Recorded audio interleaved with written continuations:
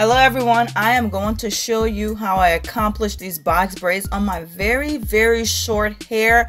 I am nine months pregnant in this video.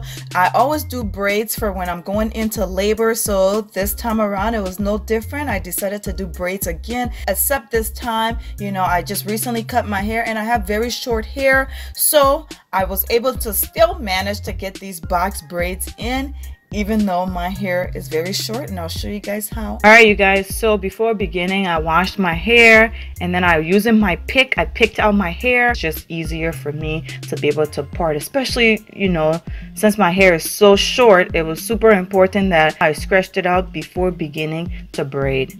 I am using the Jumbo Kanekalon uh, braiding hair.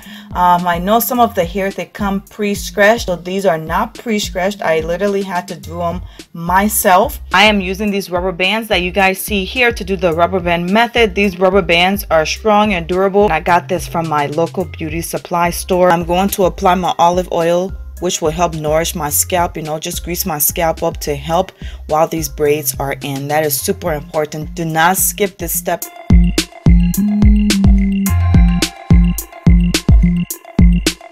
using my Cantu styling gel, I applied it onto my hair to keep my hair smooth and to keep it in place before I even begin braiding. Because my hair is very, very short, as y'all can see here, I am constantly pulling the hair away from each other, making sure it's not touching the rest of the hair and making sure that I have a good, clean part. So that is what you guys see me here doing with my fingers. So as I stated before, this hair did not come pre-scratched. I had to scratch it myself to get that desired length that I was looking for, which you guys will see. I also did cut the hair in half, so the hair would have been a lot longer had I not cut it in half, but I cut it in half to give myself more hair to work with. Since I know that I would be making my braids not too big, but not too small also, so I knew that I would need a little bit more braids than what came in the pack.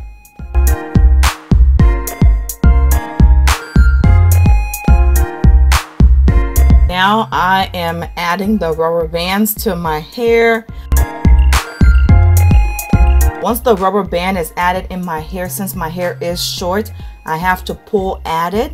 So I pull at it as you guys can see here.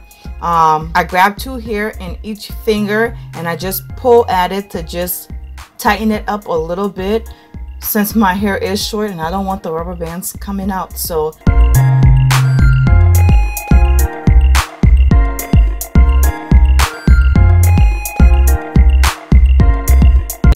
As y'all can see here, I'm applying more gel to my hair. Once again, like I said earlier, this is just going to help to keep the hair in place. It's just going to help to um, make the hair come out looking really clean and just neat and fresh. So that is what I'm doing here. I've already applied my grease to my scalp. I've just been repeating the same process as y'all saw I did earlier.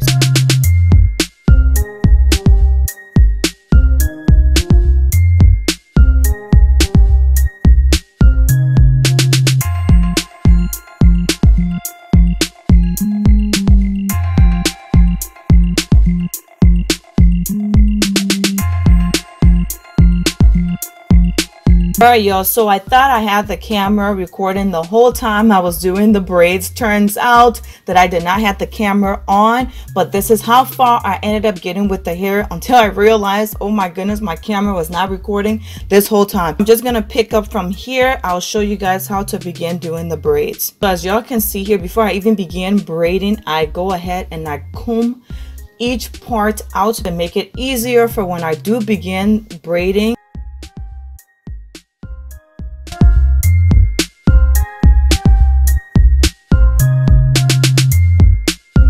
since my hair is pretty short, I am making sure that I am gripping every last bit of this hair, making sure that the braids is tight, that it doesn't end up falling out because with short hair, it will be so easy for the braids to start falling out later if I don't make sure that they're tightened up. So I'm making sure that they're very tight um, starting off at the very base of the hair. Um, just don't make it too tight. You don't want to end up giving yourself a headache neither. But make it tight enough where it will stay in. Your braids won't just start falling out of your head.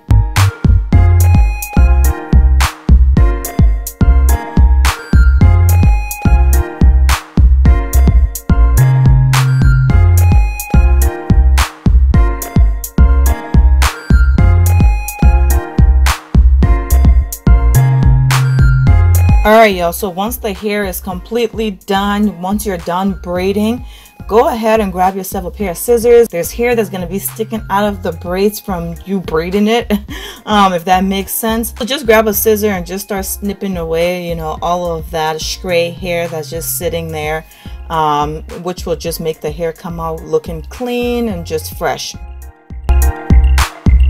So what I am doing here now I am sealing off the end of the braids with some hot boiling water.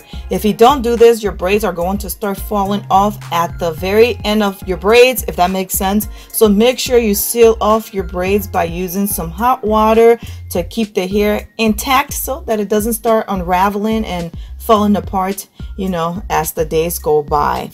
So that is what I'm doing here. I'm just using hot water to seal off the ends of each braid. So this portion is very time consuming. Just make sure you sit back, turn on some music, and just relax and seal off the ends of each braid, y'all.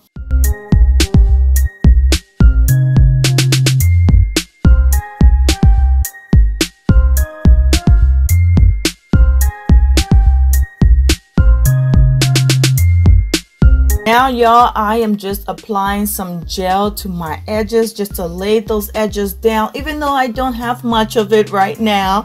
Um, but yeah, I'm just applying some gel to lay down my edges just to make my hair come out looking really neat and put together, y'all. I love me some gel for these reasons. Y'all, I'm completely done. So this is what the hair came out looking like. I am very pleased with the results of these braids. Um, make sure that you check my description box for the links for some of the products that I used in today's video. Now that we are all home and quarantine, you might find these links very helpful if you are going to be doing your own very box braids as well. I am just super happy that I have these braids in. I don't have to worry about doing my hair once baby is here. My hair is going to be completely done and ready to go and I can just focus on loving this new addition to our family. So anyways, you guys, thank you so much for watching today's video. If you have not subscribed to my channel, please make sure you do click that notification bell button. It's going to notify you whenever I post a new video. Love you guys so much. Thanks for watching once again, and I'll see you guys in my next video. Bye.